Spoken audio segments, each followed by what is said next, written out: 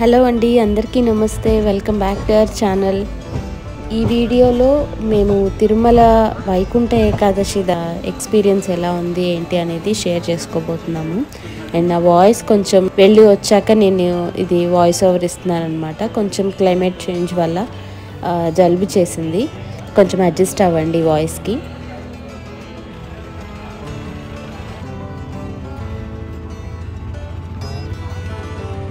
ఈ వైకుంఠ ఏకాదశికి మేము టికెట్స్ ఆన్లైన్లోనే బుక్ చేసుకున్నామండి త్రీ హండ్రెడ్ రూపీస్వి.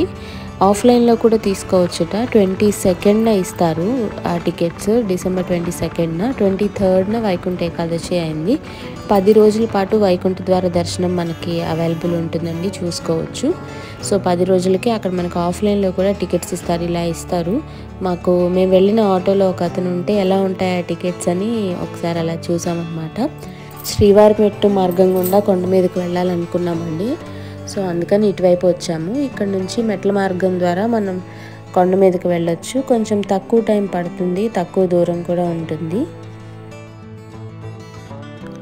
మెట్ల మార్గం స్టార్ట్ అయ్యే ముందర ఇంకా తర్వాత నుంచి మెట్లు ఎక్కుతాము అన్నప్పుడు ఇలాగా శంఖచక్ర నామాలు ఇలా ఉంటాయండి. ఇక్కడ అందరూ పసుపు కుంకుమలు పెట్టి కర్పూరాలు వెరిగించి కొబ్బరికాయ కొట్టేసి స్టార్ట్ అవుతారనమాట ఇక్కడ ఒక టెంపుల్ ఉంటుంది వెంకటేశ్వర స్వామిది. అక్కడ దండం పెట్టుకొని ఇంకా నడక స్టార్ట్ చేయాలి పైకి.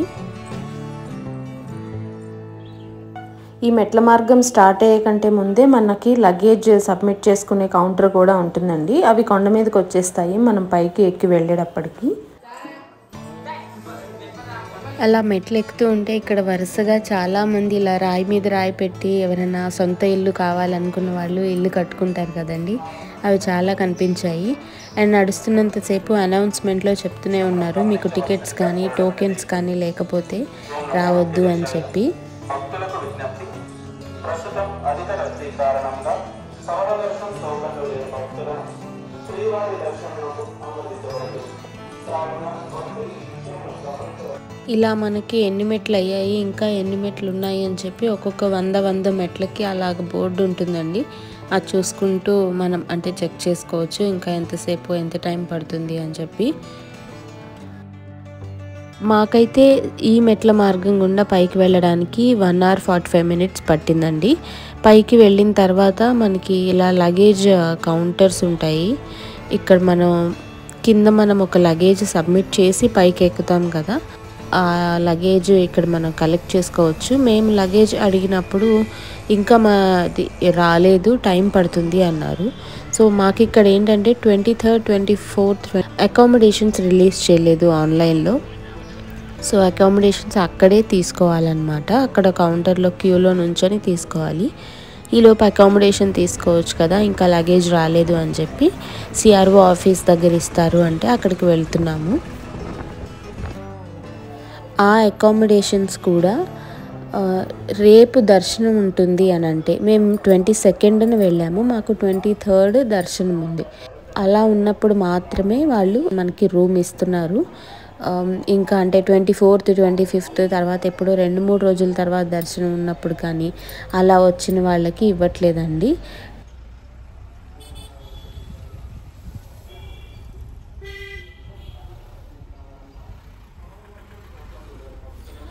ఇప్పుడైతే మేము ఇంకా సిఆర్ఓ ఆఫీస్కి ఇక్కడ జీప్లు సుమోలు అవి ఉంటాయండి. సో వాటిలోనే వెళ్తున్నాము. వాళ్ళు ఫస్టే చెప్పారనమాట ఫ్రీ బస్సులు ఏం లేవు ఫ్రీ బస్సులని అక్కడికి తీసుకెళ్ళట్లేదు అని. సో మేము ట్రై చేద్దాం అనుకున్నాం కానీ సరే లేవన్నారు కదా అని చెప్పి అందులోనూ అప్పుడే పైకి ఎక్కి ఉన్నాము. ఇంకా రూమ్ దొరుకుతుందా లేదా అక్కడ ఎంత క్యూ ఉంటుందో తెలీదు ఎంత వెయిటింగ్ ఉంటుందో తెలీదు. అందుకని సరే వెళ్ళిపోదాం అని చెప్పి ఇందులోనే వెళ్ళాము. తీరా వెళ్తే అక్కడ అన్ని ఫ్రీ బస్సులన్నీ బాగానే తిరుగుతున్నాయి. సో ఇక్కడికి వచ్చిన తర్వాత సిఆర్ఓ ఆఫీస్ దగ్గర ఇలా ఉందండి క్యూ. ఇంతమంది ఉన్నారనమాట వెయిటింగ్లో. అందరూ వాళ్ళ వాళ్ళ టికెట్స్ బుక్ అయిన టికెట్స్ అవి పెట్టుకొని ఉన్నారు. మేము అది చూసి ఫస్ట్ ప్రసాదం ఇస్తున్నారు. ఫస్ట్ ప్రసాదం అక్కడ తీసేసుకొని తిన్నాము అన్న ప్రసాదం. తర్వాత ఇలాగ క్యూ లైన్లో ఉంటే కొంచెం సేపటికి అలాగా క్యూలోంచి లోపలికి వెళ్తే వాళ్ళు మన డేట్ చెక్ చేస్తారండి. రేపటి రోజున మనకి దర్శనం ఉందా లేదా అనేది చెక్ చేసి లోపలికి పంపిస్తారు. ఆ తర్వాత మనకి అలాట్మెంట్ వస్తుందన్నమాట. ఫస్ట్ ఒక చిన్న స్లిప్ ఇస్తారు. మనకి మెసేజ్ వస్తుంది. ఏ రూమ్ మనకి అలాట్ అయిందని చెప్పేసి ఆ మెసేజ్ని పెట్టుకొని అయినా మనం ఆ ప్లేస్కి వెళ్ళి చూపిస్తే వాళ్ళు ఇలా మనకు ఒక రూమ్ ఇచ్చేసి దానికి డిపాజిట్ అది చేయించుకుంటారనమాట మాకు వచ్చిన రూమ్ అయితే ఇదండి. Hundred rupees room. త్రీ ఎన్సీలో వచ్చింది మాకు. సో మా రూమ్ ముందర ఇలా గీజర్ అవి కూడా ఉన్నాయన్నమాట బయట. సో అలా మేము కొంచెం ఫ్రెష్ అయిపోయి తలనీలాలు అవి అన్నీ చూసుకొని ఇప్పుడు వరాహస్వామి దర్శనం చేసుకోవడానికి వెళ్తున్నాము.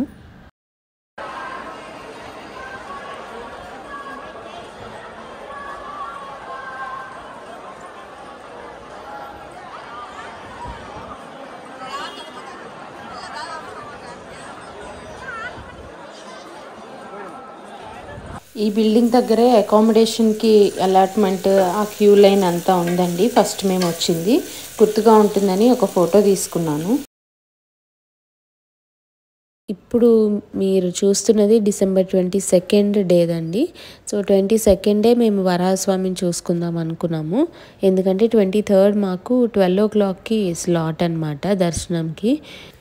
సో ట్వంటీ థర్డ్ డైరెక్ట్గా ఇంకా దర్శనంకి వెళ్ళిపోవచ్చు కదా.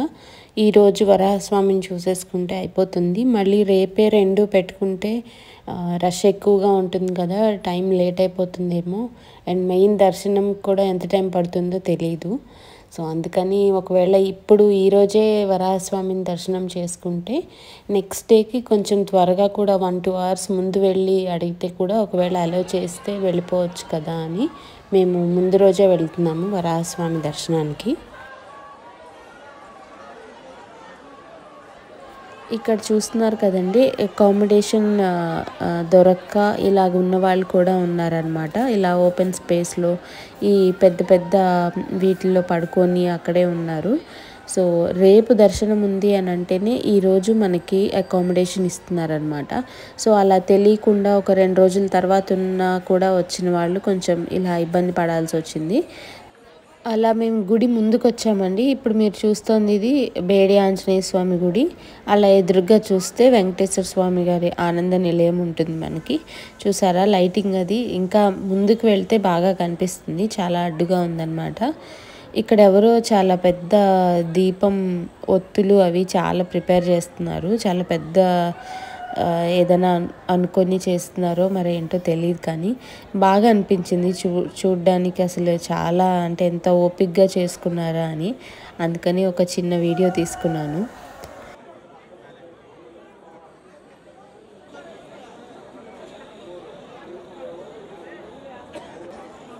ఇది బేడి ఆంజనేయ స్వామి గుడి అండి చాలా బాగా డెకరేటింగ్ కానీ లైటింగ్ కానీ బాగా చాలా బాగుంది.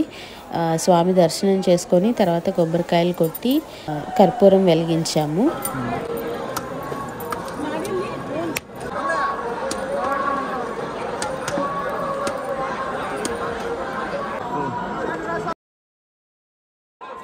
ఇంకా గుడి చూడండి ఎలా చేశారో డెకరేషన్ లైటింగ్స్ అవన్నీ కూడా.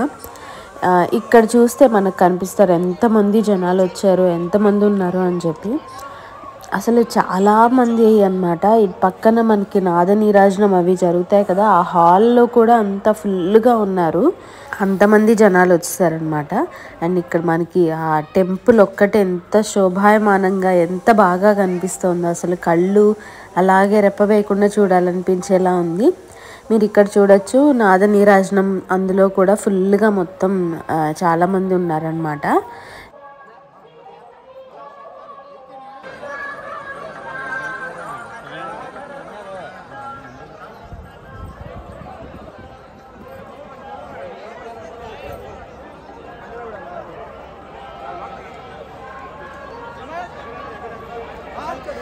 ఎంత అందంగా అసలు ఇలాగా దేవుళ్ళ రూపాల్ని లైటింగ్స్లో ఆకారం చెడకుండా ఎంత నీట్గా చేశారో అలా చేయడానికి ఎన్ని రోజులు పట్టిందో అనిపించిందండి.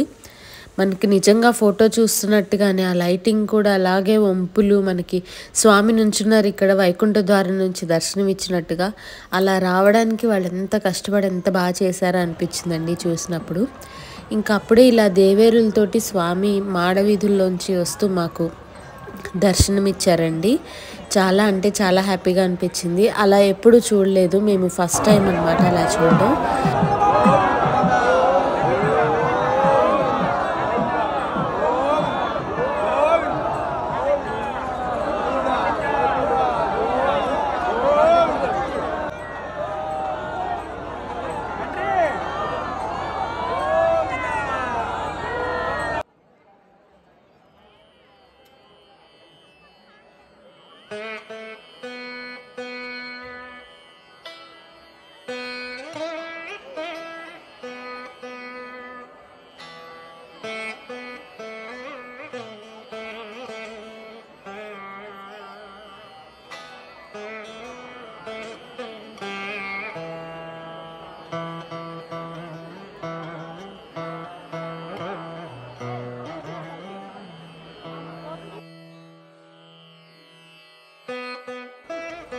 ఇప్పుడు మేము ఈ మాడవీధుల్లోంచి వరాహస్వామి టెంపుల్ దగ్గరికి వెళ్తున్నామండి దర్శనానికి.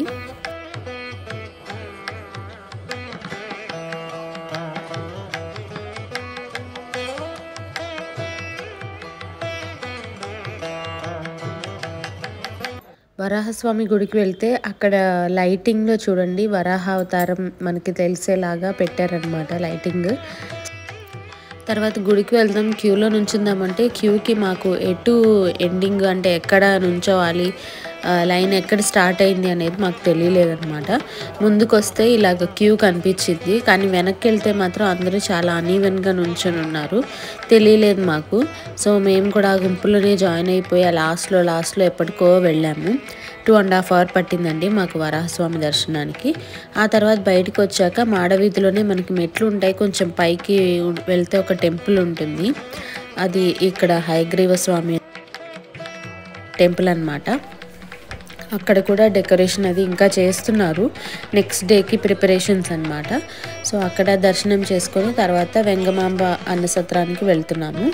మేము ఎప్పుడు ఇలా క్యూలో లేమండి వెంగమాంబ అన్నసత్రానికి. అంటే నార్మల్ డేస్లో ఇలా ఉండదు కదా. ఇప్పుడు మాత్రం ఇలా ఫస్ట్ టైం ఇంకా ఈ పెయింటింగ్ గురించి అయితే చెప్పక్కర్లేదండి. వెంగమాంబ అన్నసత్రానికి వెళ్ళిన ప్రతి ఒక్కళ్ళు వెళ్ళిన ప్రతిసారి ఫోటో తీసుకునే ప్లేస్ అన్నమాట. ఇక్కడ ఒక త్రీ పెయింటింగ్ ఉంటుంది. ఆ పెయింటింగ్లో మనకి శేషాచలం అడవులును వెంకటాచలము చూపించేలా ఉంటుందట. సో మనకి ఒక పాము ఎలా అయితే మెలకలు తిరుగుతున్నట్టుందో అలాగ వంపులు వంపులుగా ఉన్న ప్లేస్ అంతా శేషాచలం. వెంకటేశ్వర స్వామి విగ్రహం మనకు కనిపిస్తుంది ఒక చోట. అది వెంకటాచలం అని చెప్పి అది పాము పడగ ప్లేస్. అలాగా చివర ఉన్న ప్లేస్ శ్రీశైలం. అలాగ మధ్యలో త్రిపురాంతకం మహానంది అహోబిలం అనే మూడు ప్లేస్లు ఉంటాయన్నమాట. మూడు చాలా ప్రసిద్ధ క్షేత్రాలు. సో వాటన్నిటిని చూపిస్తూ ఈ పెయింటింగ్ ఉంటుందట. అందులో కూడా ఇంకా హ్యాపీగా అనిపించింది ఏంటంటే త్రిపురాంతకం మా ఊరు కాబట్టి అక్కడ చూడగానే చాలా సంతోషం వేసింది. అంటే మన ఊరి పేరు విన్నప్పుడు మనకు కలిగే ఆనందం ఉంటుంది కదా. సో అలాగనమాట. ఆ పెయింటింగ్ పక్కనే ఇలాగా వెంగమాంబ గారిది ఒక విగ్రహం కూడా ఉందండి.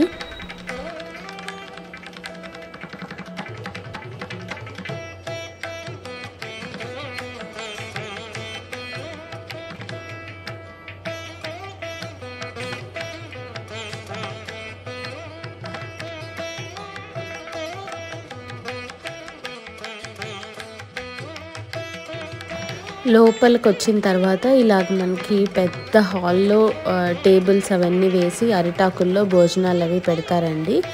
కొంచెం ఫాస్ట్గా పెడుతుంటారు ఇంతమందికి పెట్టాలి కాబట్టి మనం కొంచెం ఫాస్ట్ ఫాస్ట్గా తినాల్సి వస్తుంది.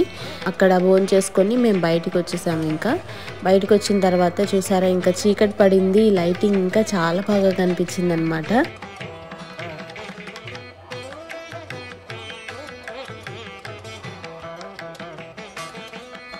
ఇదంతా ట్వంటీ సెకండ్ డిసెంబర్ అండి. తిరుమలలో కొండ మీదకి వెళ్ళిన రోజు మేము చూసుకున్నది అండ్ ట్వంటీ థర్డ్ దర్శనం ఇది నెక్స్ట్ డే అనమాట సో ఈ నెక్స్ట్ డే రోజు ఏంటంటే దర్శనానికి వెళ్తాం కాబట్టి మొబైల్స్ అవేమీ తీసుకెళ్ళాము. సో ఏం లేదనమాట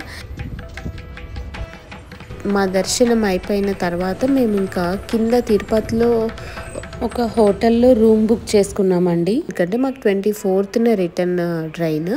So twenty third దర్శనం అయిన తర్వాత రాత్రి మేము తిరుపతికి వచ్చేసాము. తిరుపతి వచ్చేసిన తర్వాత ఇస్కాన్ టెంపుల్కి వెళ్ళామండి తిరుపతిలో. చాలా బాగుంది టెంపుల్. మేము ఫస్ట్ టైం చూడడము సో ఇంతవరకు చూడలేదు కదా ఈవినింగ్ ఖాళీగానే ఉన్నాము చూడొచ్చు ఇది కూడా వెళ్ళి అని చెప్పి వెళ్ళాము. టెంపుల్ అయితే చాలా పెద్దగా చాలా బాగుందండి. అక్కడ కూడా వైకుంఠ ఏకాదశి స్పెషల్గా వాళ్ళు డాన్స్ చేస్తూ అలా హరే కృష్ణ హరే కృష్ణ పాడుతూ ఉన్నారు. ఇది ట్వంటీ ఫోర్త్ డిసెంబర్ అండి. సో ఈరోజు మాకు రాత్రికి ట్రైన్ ఉందన్నమాట హైదరాబాద్కి. సో మేము పొద్దున్న తిరుచానూరు వెళ్ళి అమ్మవారిని దర్శించుకొని వద్దామని అనుకున్నాము. సో ఇలాగ ఆటోలో వెళ్తున్నామన్నమాట. ఆటోకి వచ్చేసి మాకు వన్ ట్వంటీ తీసుకున్నాడండి ఇది కొత్తగా ఒక ఫ్లైఓవర్ వచ్చింది కదా సో దాని మీద నుంచి తీసుకువెళ్ళారు. అందుకని కొంచెం టైం తక్కువ పట్టింది ట్రాఫిక్ కూడా లేదు అని చాలా బాగుంది. సో మేము తిరుచానూరు వచ్చేసాము. అయితే ఇక్కడ కూడా చాలా రష్ ఉందండి చాలా మంది ఉన్నారు. ఇక్కడ రష్ ఉండడానికి కూడా ఏంటంటే తర్వాత తర్వాత రోజుల్లో దర్శనం ఉన్న వాళ్ళు కూడా ఈ చుట్టుపక్కల ఉన్న టెంపుల్స్ అన్నీ ఈలోపు కవర్ చేసుకుందాం ఈ టూ డేస్లో అని అనుకొని అన్ని టెంపుల్స్కి కూడా వస్తున్నారనమాట ఇంకా మేము ఇక్కడ మా మొబైల్స్ ఇక్కడ డిపాజిట్ చేసామండి మనకి ఇక్కడ కౌంటర్స్ ఉంటాయి. డిపాజిట్ చేయడానికి మొబైల్స్ కానీ మన లగేజ్ ఏదన్నా ఉంటే అది కానీ చెప్పులు కూడా మనం ఇక్కడ పెట్టుకొని వెళ్ళొచ్చు అనమాట ఫ్రీనే. సో ఈ క్యూలోంచి వెళ్ళాలి. ఫస్ట్ మేము లోపలికి వెళ్ళాము. వెళ్ళిన తర్వాత అక్కడ మనకి దర్శనానికి కూడా టికెట్స్ ఉంటాయి. అన్ని ఫ్రీ దర్శనానికి వెళ్ళాలా లేకపోతే కొంచెం శీఘ్ర దర్శనం ఇలాంటివన్నీ ఉంటాయి కదా. సో దాన్ని బట్టి మనకి ఎలా కావాలంటే అలాగా టికెట్ తీసుకొని వెళ్ళొచ్చు. కొంచెం క్యూ డిఫరెన్స్ ఉంటుందన్నమాట. కొంచెం దూరం తక్కువగా అట్లా ఉంటుంది. అమ్మవారి దర్శనం చేసుకొని బయటికి రావడానికి మాకు దగ్గర దగ్గరగా టూ అవర్స్ పట్టిందండి. ఆ తర్వాత మేము గోవిందరాజస్వామి గుడికి వెళ్దాం అనుకున్నాము. సో తిరుచానూరు నుంచి మేము గోవిందరాజస్వామి గుడికి వెళ్ళామన్నమాట. అక్కడ కూడా మాకు ఆల్మోస్ట్ టూ అవర్స్ పట్టింది. మొత్తం క్యూలో నుంచోవడం దర్శనం చేసుకొని బయటికి రావడం. రైల్వే స్టేషన్ దగ్గరే గుడి ఉంటుంది కాబట్టి ట్రైన్ ఎక్కడానికి వెళ్ళినప్పుడు కొంచెం ముందు వెళ్ళి దర్శనం చేసుకుందాం అనుకున్నాము. కానీ అలా అవ్వదు మళ్ళీ అప్పటికప్పుడు అని అంటే ఒకవేళ దర్శనం లేట్ అయినా హడావిడి అవుతుంది కదా అని చెప్పి పొద్దునే చేసేసుకున్నాము. సో దట్ ట్రైన్ టైంకి కొంచెం ప్రశాంతంగా వెళ్ళొచ్చు అని. అలా స్వామివారి దయ వల్ల జాగ్రత్తగా వెళ్ళి జాగ్రత్తగా ఇంటికి వచ్చేసామండి. ఈ వీడియో కనుక మీకు నచ్చినట్టయితే ప్లీజ్ లైక్ చేయండి షేర్ చేయండి అలాగే subscribe to Venela vlogs. Thanks for watching.